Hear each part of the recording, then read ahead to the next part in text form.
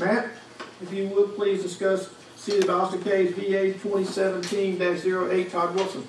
Yes, sir, Mr. Chairman, um, the next two items involve the same property by the same applicant. Uh, Todd Wilson, this is a request to rezone into annex property into the city of Valdosta. Uh, the subject, I think we can talk about these together, but when it comes time to make motion and vote, that we treat them as separate requests at that point.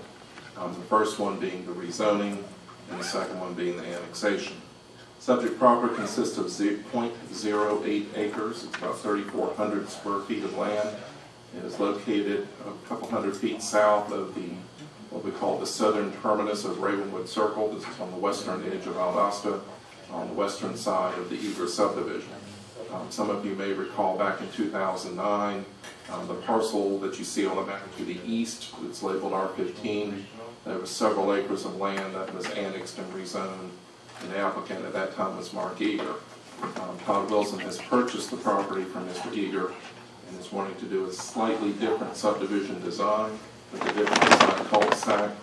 Um, And part of that new cul-de-sac design spills over into unincorporated Lowndes County, and hence the annexation rezoning request. Um, Here's the aerial of the, air- of the neighborhood. You see the housetops of the houses, the vacant field, which is the parent parcel next to the subject property. And then this is the proposed layout. Um, As we talked about at the work session, um, the city limits line is along the western side, and the subject property to be annexed is that area crosshatched in sort of a gray diagonal tone. Um, You can see how that augments the cul-de-sac. And if you follow the right side of that hatched area, that lines up with the current city limit line. So the annexation is just to bring in this shaded area, add a little more land to the cul-de-sac. You sort of see on the other curve there where the former cul-de-sac design was to be.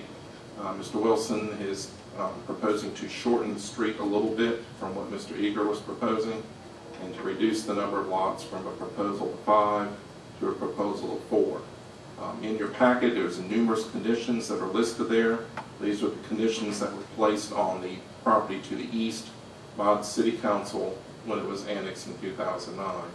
So staff is recommending approval of this with those same conditions, so that the conditions in the shaded area match the same zoning conditions that are in the property to the east. Um, Subject property, here's the vacant field, and then some of the houses on Ravenwood to the south. I think these are the two houses which are closest to the subject property. I'd be glad to answer any questions you might have. Thank you, Matt. Commissioners, any questions for staff on this request? There being none, anyone here tonight wishing to speak in favor of this, of this request can come forward at this time. Anyone wishing to speak in favor of the request? Good evening, sir. Just state your name and address for the record, please, sir. Bob Wilson, twenty-eight zero one Country Club Drive. Yes, sir.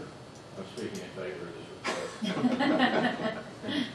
Uh, what we try to do here is, uh, this, this land was purchased, my wife and I are gonna personally build our house there.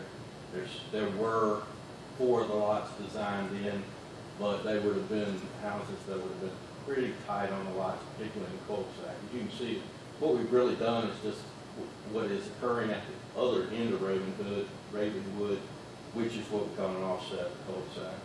And by doing that, we're gonna be able to align the fronts of the house and get a much more pleasing street front, plus get, and particularly in, say, the southernmost lot and the lot just to the, little bit east of it, which is gonna be my lot, we can get, uh, a larger footprint.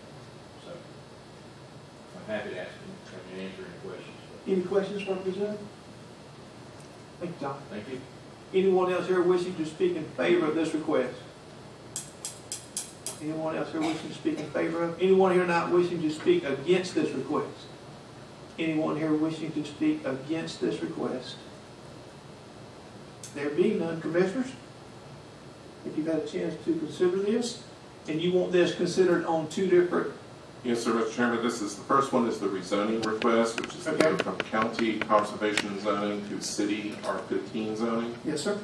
That would be the first motion, and the second one is for annexation. Okay, Commissioners, at this time, I will take a motion on the rezoning request of VA twenty seventeen 8 Mr.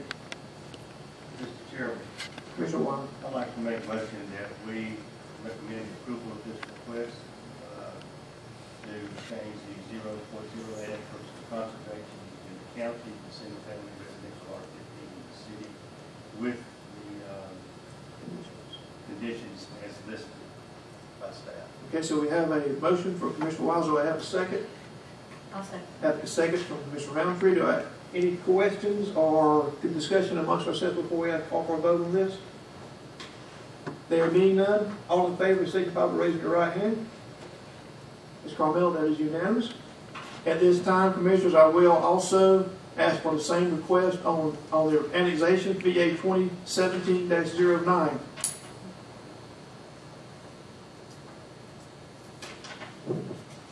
Chairman, Commissioner Wiles. I'd like to make a motion that we also recommend approval of this request. Okay, so we have a motion for approval. Do I have a second? Second. Wait, wait, With, with the condition. with the one condition stated. And who's, and Commissioner Ball seconded.